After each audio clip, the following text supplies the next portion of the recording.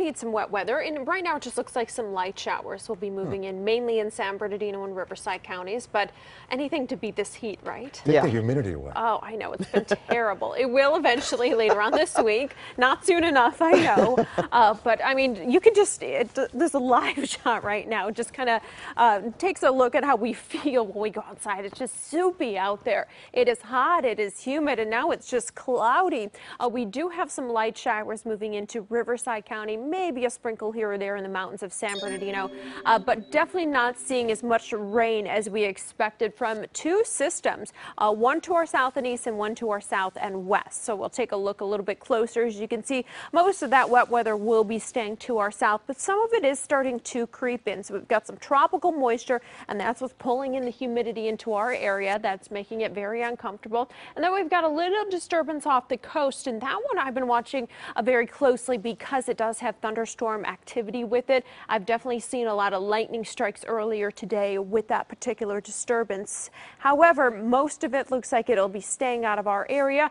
Uh, just to keep uh, the watches in effect, we will continue that through 5 p.m. tomorrow. And this just includes uh, San Bernardino and Riverside counties. Because if we do see any pop up cells and thunderstorm activity, we could see some heavy amounts of rain in isolated areas. And that is the only reason we do have that flash flood watch in effect. What I'm sure you've noticed over the last 24 hours the, is the increase in clouds. And that is all from those two systems just to our south. So it definitely felt a lot hotter than it was out there today because of the humidity. Because look at temperatures.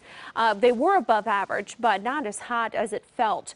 Uh, you can see temperatures are still very warm because once we get the clouds in place, well, then we don't really see cooling into the evening and overnight hours. So overnight lows are going to be staying above average. Uh, look at these temperatures right now, still into the low 80s from Van Nuys to Riverside, mid 70s from downtown LA into Santa, Ana, at 77 currently in Oxnard. Uh, but again, we do have mostly cloudy skies. We have that offshore flow bringing in the heat and also uh, the humidity from this tropical moisture uh, just to our south and east, and then again to our south and west at disturbance with the lightning. Uh, eventually, we will see these uh, areas of low pressure pass on through, and once they do, we will have way less humidity, and eventually we'll have sunny skies. But for now, uh, just expect mostly cloudy skies tonight unfortunately is going to stay warm and very muggy. Humidity levels extremely high.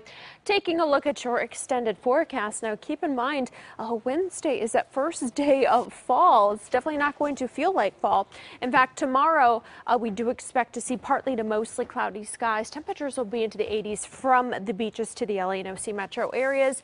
And then Wednesday will clear up the skies, but uh, temperatures will be a bit on the warm side, especially inland and in the valleys.